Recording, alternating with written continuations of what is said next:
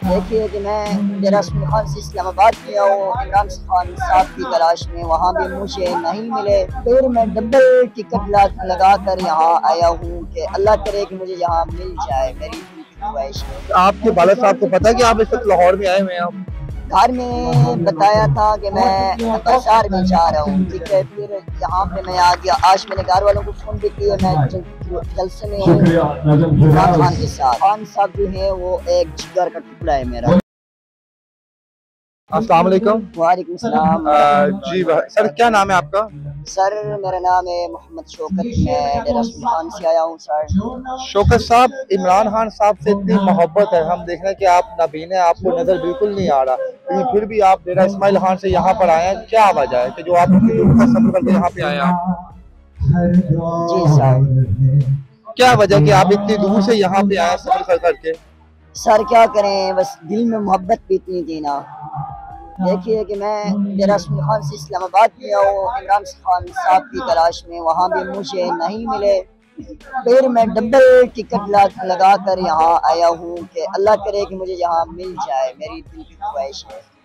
तो सर, इमरान खान साहब की किस अदा से आप मुतासर हुए हैं कि आपने पाकिस्तान तहरीक इंसाफ में आया हैं? लोग तो कहते हैं इमरान खान साहब गरीबों का खून चूसते हैं जनाब, वो महँगाई के जिम्मेदार वो है, लेकिन आप आप यहाँ पे, इनके लिए यहाँ पे आए हैं। किस वजह से आए? किस चीज़ से मुतासर होके आए हैं?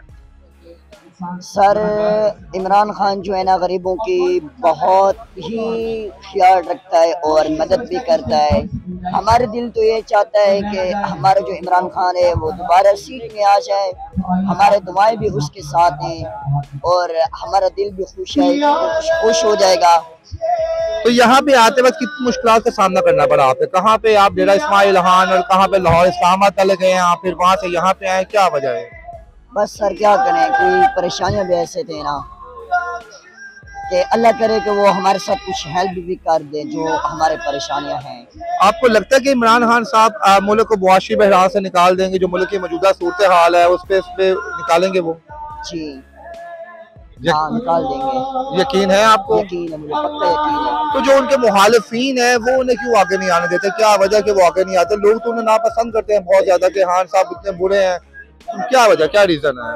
इनशाला हमारी सबसे पहले तो आवाम और बाकायदा इमरान खान।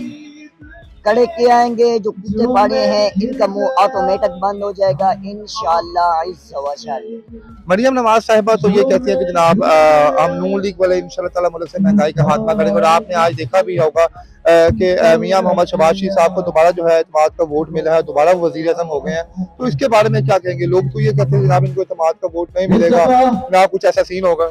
नहीं सबसे पहले तो मेरी ये रिक्वेस्ट है कि इमरान खान साहब पहले भी हुकूमत कर चुके हैं और तीन सालों में से सात रुपए महँगाई हुई है। एक साल में से ये बताएँ कि डबल ट्रिपल महँगाई हो चुकी है ये कैसे महँगाई घाट करेंगे ये बताएँ आप।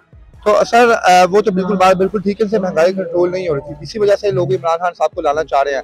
आपने खान साहब का दौर हुकूमत में देखा और ये इनका भी दौर देखा तो क्या खान साहब का जो दौर था तीन साल तीन चार साल उस दौर में आपका गुजारा हो जाता था? जी बिल्कुल हो जाता था। करते क्या हैं सर आप?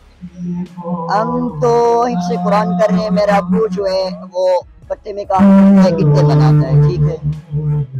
सात, आठ सौ रुपया दिहाड़ी बनती है, क्या करें, कहाँ जाए, गरीब बंदे हैं। हमारी महफिल भी माशा बहुत ज़्यादा है। तो आपके बाला साहब को पता है कि आप इस वक्त लाहौर में आए हुए हैं आप? घर में बताया था कि मैं शहर में जा रहा हूँ ठीक है? फिर यहाँ पे मैं आ गया। आज मैंने घर वालों को फ़ोन भी किया मैं जलसे में हूँ। खान के साथ। तो उन्हें यकीन हुआ कि आप इस लाहौर में हैं और यहाँ पे आप मेरा इसमाइल बाज़ार में बाहर सामान निकले और यहाँ पे आप पहुँच गए इतनी मोहब्बत की वजह क्या है कि घर से भी झूठ बोल आप यहाँ पे आगे हान साहब कितने मुतासर हैं। हालाँकि आपने हान साहब को देखा नहीं है, आपने आँखों से, दिल की आँखों से शायद देखा हो। आपका दिल क्या कहता है हान साहब किस किस्म की शख्सियत है, किससे खूबसूरत है वो? बहुत अल्लाह पाक ने उसको खूबसूरत बनाया है। इनशाला हमारी आवाम के लिए और तो खान साहब के बारे में किससे सुनते हैं आप? किसने बताया आपको या खुद सुनते हैं टीवी पे? या लोगों ने बताया ही होगा ना कि खान साहब अच्छे हैं या बुरे हैं। सर मैं टीवी पे सुनता हूँ ठीक है? पहले मेरा मोबाइल था मेरे पास मोबाइल भी नहीं है। मोबाइल पे भी सुनता था। इमरान खान बहुत अच्छा है। और और टीवी पे तो यार बाकी सियासतदानों के बारे में भी बताया जाता है वो बड़े अच्छे हैं तो आपके दिल की आवाज़ ने कैसे सपोर्ट किया कि खान साहब को सपोर्ट करना है आप? मेरा खान साहब जो है वो एक जिगर का टुकड़ा है मेरा। बोलिएगा अंदर से। तो इमरान जो सियासी हैं सियासी हैं उनको छोड़िए इमरान खान साहब के लिए दुआ करते हैं आप? इंशाल्लाह मैं करता हूँ। करते हैं। जी। एक छोटी सी खूबसूरत सी आयत जो है खान सुनाए यहाँ पे कि खान साहब जो अगर वीडियो देखे तो आपकी आवाज़ सुन सके हूँ। जल्दी चले आइए। ताकि हम आ, अब जो नाम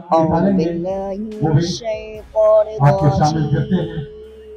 यहाँ पे इस ट्रांसफॉर्मेशन में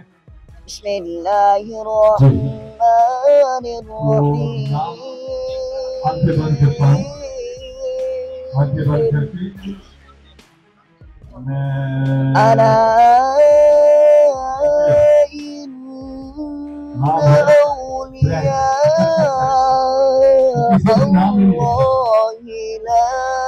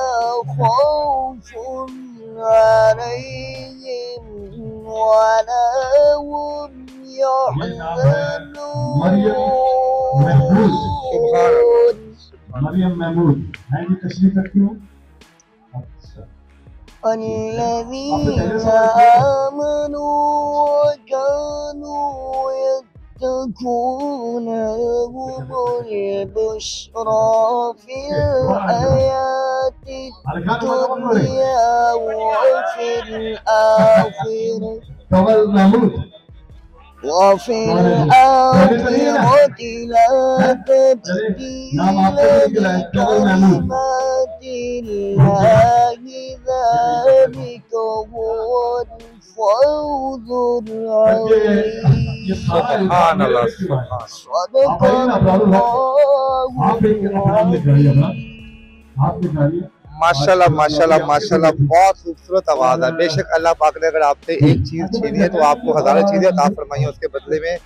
तो सर आपका दिल इस चीज़ की गवाही देता है जितनी खूबसूरत कलाम अभी आपने ज़बान से अदा किया कि इमरान खान साहब यहूदी नहीं है। वो मोहब्बत करते हैं पाकिस्तान से और वो दीन इस्लाम से मोहब्बत करते हैं। जी सर तो फिर लोग उन्हें यहूदी क्यों कहते हैं सर? लोग उन पे लेबल क्यों लगाते हैं? लोग उन्हें सर जो कहता है वो खुद यहूदी है जो इमरान खान को कहते हैं वो खुद यहूदी है। ताकि हम वीडियो यानी कि आपका दिल इस चीज़ की गवाही देता है कि खान साहब ईमानदार हैं बिल्कुल जी। नाज़रीन आप यहाँ पे इनकी मोहब्बत और जज्बा देखें कि डेरा इस्माइल खान से यहाँ पे पहुँचे हैं। सिर्फ़ इसलिए कि जनाब खान साहब से मुलाकात हो सके और आप इनकी आवाज़ सुने कि उनकी आवाज़ कितनी खूबसूरत है इन्होंने पुराने मजीद का जब अदा किया, यहाँ पे तो मज़ा आ गया। आखिर में खान साहब को क्या पैगाम देंगे आप? सबसे पहले दे इमरान खान साहब को मैं ये पैगाम देना चाहता हूँ कि मेरी सात आठ नौ दिन बाद शादी है कि मेरे साथ थोड़ी सी हेल्प करवाएँ। ठीक है, गरीब बंदा हूँ, मैं परेशान हूँ। इंशाल्लाह तो अगर आप मियाँ नवाशी साहब हेल्प कर दे उनसे हेल्प लेंगे आप? नहीं।